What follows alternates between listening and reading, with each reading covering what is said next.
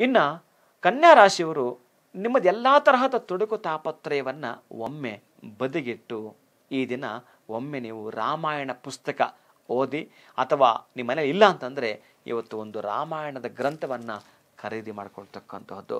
ಒಂದೇ ಒಂದು ಶ್ಲೋಕವನ್ನಾದರೂ ಕೂಡ ಇವತ್ತು ಪಠನೆ ಪಾರಾಯಣ ಮಾಡಿದಾಗ ಅನೇಕ ದಿನಗಳಿಂದ ಯಾವುದು ಕೆಲಸ ಆಗಿರಲ್ಲ ಆ ಕೆಲಸ ಆಗ್ತಕ್ಕಂಥ ಸಾಧ್ಯತೆ ಸಕ್ಸಸ್ಸನ್ನು ಕಾಣ್ತೀರಿ ಒಟ್ಟಾರೆಯಾಗಿ ಇವತ್ತು ನಿಮ್ಮ ಮನೆಗೆ ಒಂದು ಗ್ರಂಥ ಬಂದಿದ್ದೆ ಆದರೆ.